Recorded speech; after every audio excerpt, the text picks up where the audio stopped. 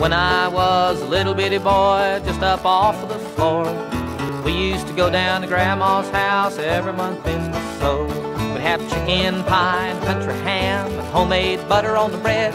But the best darn thing about Grandma's house was a great big feather bed. It was nine feet high and six feet wide, soft as a downy chick. It was made from the feathers of four to eleven geese, took a whole bowl of cloth for a tick. And it'd hold eight kids and four hound dogs and the shed. We didn't get much sleep, but we had a lot of fun on Grandma's feather bed. After supper, we'd sit around the fire, the old folks would spit and chew. Pa would talk about the farm and the war, and Granny'd sing a ballad or two. And I'd sit and listen and watch the fire till the cobwebs filled my head.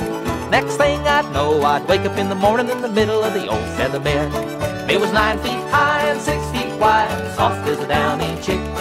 It was made from the feathers of four to eleven geese, took a whole piggy we'd from the shed.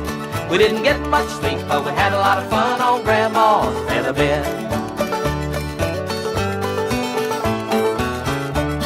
Well, I love my ma, I love my pa, I love Granny and Grandpa too.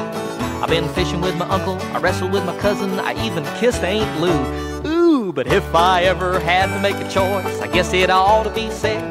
But I'd trade them all, plus a gal down the road for Grandma's feather bed.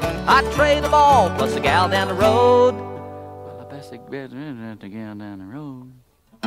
It was nine feet high and six feet wide, soft as a downy chick. It was made from the feathers of four to eleven geese, took a whole bolt of cloth for a tick. And it'd hold eight kids, four hound dogs, and a piggy we'd stolen from the shed.